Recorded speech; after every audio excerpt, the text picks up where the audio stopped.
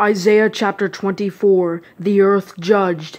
Look, the Lord is stripping the earth bare and making it desolate. He will twist its surface and scatter its inhabitants, people and priest alike, servant and master, female servant and mistress, buyer and seller, lender and borrower, creditor and debtor.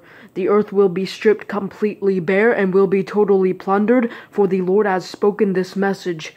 The earth mourns and withers, the world wastes away and withers, the exalted people of the earth waste away. The earth is polluted by its inhabitants, for they have transgressed teachings, overstepped decrees, and broken the everlasting covenant. Therefore a curse has consumed the earth, and its inhabitants have become guilty. The earth's inhabitants have been burned, and only a few survive. The new wine mourns, the vine withers, all the carousers now groan.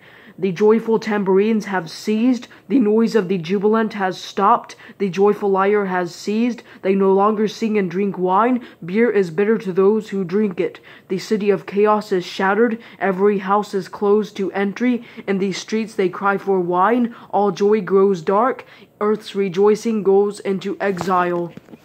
Only desolation remains in the city. Its gate has collapsed in ruins, for this is how it will be on earth among the nations, like a harvested olive tree, like a gleaning after a grape harvest. They raise their voices, they sing out, they proclaim in the west the majesty of the Lord. Therefore, in the east, honor the Lord. In the islands of the west, honor the name of the Lord, the God of Israel. From the ends of the earth we hear songs, the splendor of the righteous one. But I said, I waste away away, I waste away. Woe is for me. The treacherous act treacherously, the treacherous deal very treacherously. Panic, pit, and trap await you who dwell on the earth. Whoever flees at the sound of panic will fall into a pit, and whoever escapes from the pit will be caught in a trap, for the windows are opened from heaven, and the foundations of the earth are shaken. The earth is completely devastated, the earth is split open, the earth is violently shaken. The earth staggers like a drunkard and sways like a hut.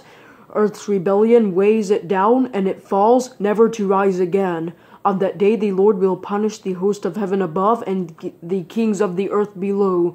They will be gathered together like prisoners in a pit. They will be confined to a dungeon. After many days they will be punished.